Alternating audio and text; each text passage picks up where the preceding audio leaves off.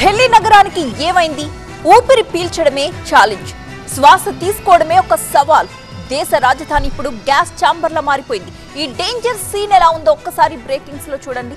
ఢిల్లీని భయపెడుతున్న కాలుష్యం. హస్తినలో నాలుగు వందల ఐదుకు చేరిపోయింది ఎయిర్ క్వాలిటీ ఇండెక్స్ పంట వ్యర్థాలని తగలబెడుతూనే ఉన్నారు పంజాబ్ హర్యానా రైతులు.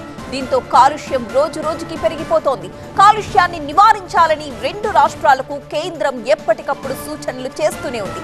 యమునా నదిలో రసాయన నురగలు కూడా తీవ్రతరమవుతూ ఉన్నాయి.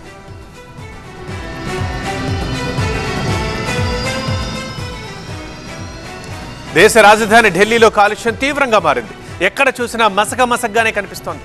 ఉదయభానుడు దర్శనమిస్తున్నా ఎదురుగా ఉన్నవారు ఇప్పటికీ స్పష్టంగా కనిపించడం లేదు. హస్తినలో ఎక్కడ చూసినా ఇదే సీన్. ముఖ్యంగా ఆనంద్ విహార్ ప్రాంతంలో అయితే ఎయిర్ క్వాలిటీ ఇండెక్స్ నాలుగు వందల మార్క్ దాటింది. అంటే నాలుగు వందల ఐదుకి చేరింది. ఈ లెక్కన కాలుష్యం తీవ్ర రూపానికి మారిందన్నట్లు.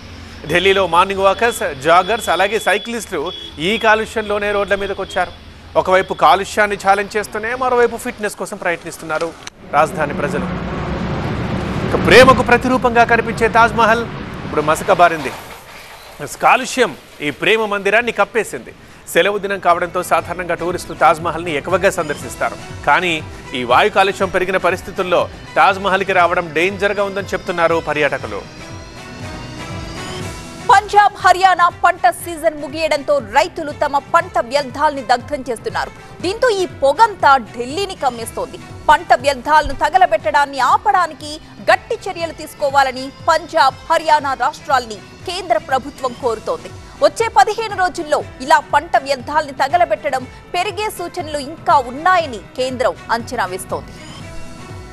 కాలుష్యం సమస్య పెరిగే అవకాశం ఉంది పంజాబ్లో ఈసారి నైన్టీన్ పాయింట్ ఫైవ్ మిలియన్ టన్నులు హర్యానాలో మూడు మిలియన్ టన్నుల పంట వ్యర్థాలు ఉత్పత్తి కావచ్చని అంచనా వేస్తున్నారు.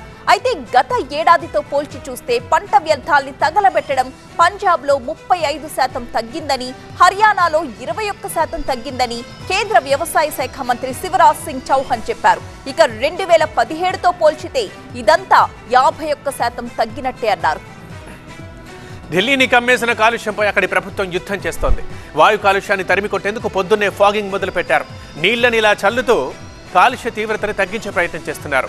ఇలాంటి సీన్లు ఢిల్లీలో రోజూ కనిపిస్తున్నాయి.